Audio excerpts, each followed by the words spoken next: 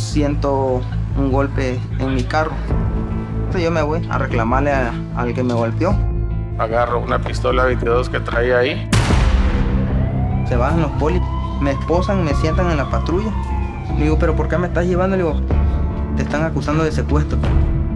Ese es el muchacho que te está señalando. Yo ni el señor ni lo conozco, le digo. Yo venía yo nomás con mi tío y luego apareció otro que es Héctor y ya éramos tres. En cuestiones de segundo, ya estábamos arriba de una patrulla y por secuestro. Duda razonable, historia de dos secuestros, relata la travesía de Héctor, Juan Luis, Gonzalo, Darwin y Guillermo, cuatro hombres acusados de secuestro a pesar de no haber cometido ningún delito. Todo comenzó con un accidente menor en una carretera de Macuspana, Tabasco, y terminó en una sentencia de 50 años de prisión a tres de los cuatro hombres señalados, sin pruebas en su contra, con claras lagunas en la reconstrucción de los hechos y con un sistema judicial corrupto cuya bandera parece ser la violación de los derechos humanos. El abogado y cineasta mexicano Roberto Hernández, quien fue codirector del documental Presunto Culpable en 2008, contó para Ruido en la Red el origen de esta nueva serie en Netflix que sigue durante seis años a los protagonistas de la historia. Así es, yo estoy, soy el primer sorprendido, yo no, yo no, eh, no me imaginé y no parto, mi punto de partida no es este, ir a buscar una mala noticia, mi punto de partida es hacer un diagnóstico y junto con colegas míos eh, decidimos hacer esta encuesta en, penales de Tabasco y lo hacemos ahí porque la intención era comparar la experiencia de personas eh, acusadas y sentenciadas bajo el sistema de justicia antiguo o inquisitivo que le llamaban y eh, comparar su experiencia con la de personas acusadas bajo el sistema de justicia nuevo, ¿no? Y al comparar, digamos, el promedio de experiencias de estos con el de estos, tú puedes ver si algo mejoró o empeoró o si sigue igual. Lo que yo estaba imaginando como encuesta, pues no funcionaba porque todos habían sido detenidos más o menos como Gonzalo. Es decir, te hacen la finta un poco, te detienen por una cosa, eh, pasan 48 horas en el MP, en la Fiscalía de Alto Impacto, detenidos, ahí los torturan, los maltratan, durante ese lapso se, se, utiliza ese lapso para generar prueba ilegal en contra de ellos. Con esa prueba ilegal van con un juez, obtienen una orden de aprehensión y al término del plazo de las 48 horas que se estableció por la Constitución así, los liberan como para hacer un cumplimiento ficticio del plazo, pero les ejecutan la orden de aprehensión que obtuvieron afuera de la fiscalía. Y entonces ya quedan detenidos, pero ahora con orden de aprehensión, no por flagrancia, digamos y están ya formalmente acusados de, del delito por el cual sí se las van a seguir en serio. En México, el nuevo sistema de justicia penal entró en rigor en el 2016. Dicho sistema tenía como objetivo la solución de conflictos de una manera más pronta, eficiente, justa, humana, transparente y respetuosa de las garantías individuales. Pero nada de esto garantiza un debido proceso. Así lo constataron Roberto y su equipo al escuchar las historias que los tomaron por sorpresa por el nivel de impunidad y arbitrariedades que implican. De hecho, actualmente casi la mitad de los reclusos en cárceles mexicanas no tienen una sentencia firme y deben esperar entre rejas su proceso pese a que se les presumen inocentes.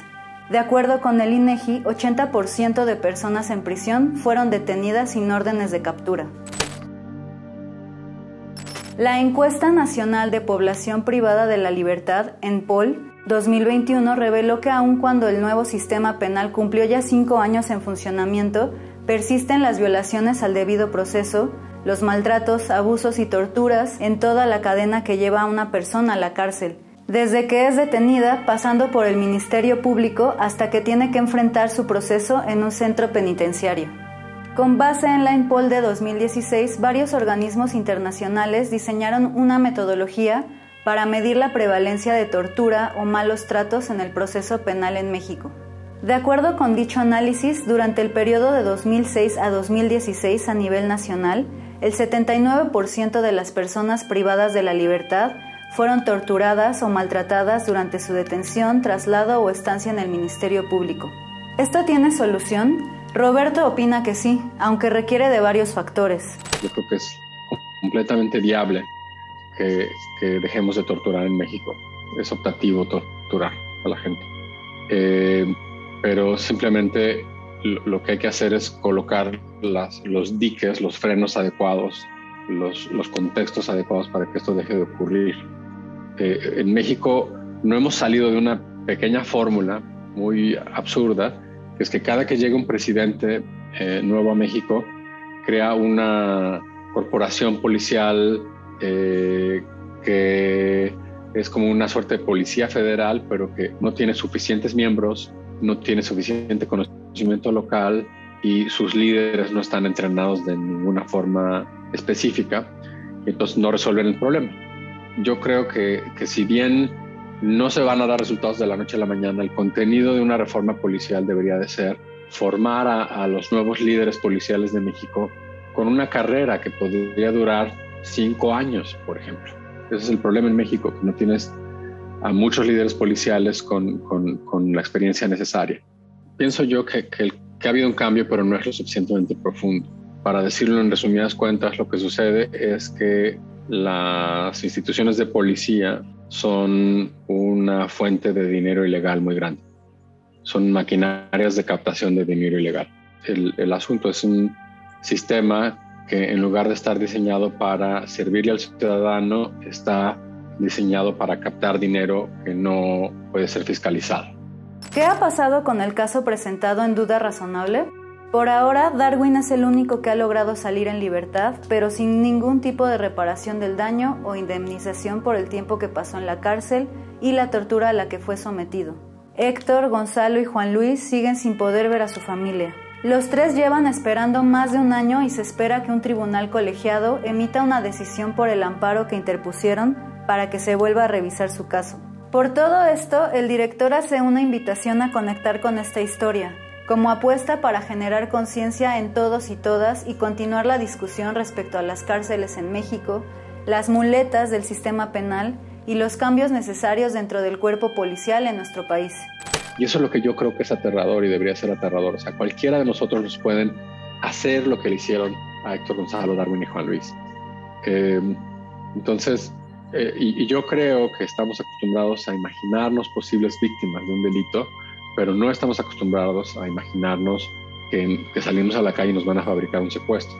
Y duda razonable muestra lo fácil que es, lo fácil que es hacer esto este, cuando no tienes una policía que esté en condiciones de investigar, cuando tienes fiscalías sin escrúpulos y jueces que no, que no hacen activamente una labor de, supervisar y de, cuidar nuestra integridad física ¿no? y el ejercicio de nuestros derechos y nuestras libertades.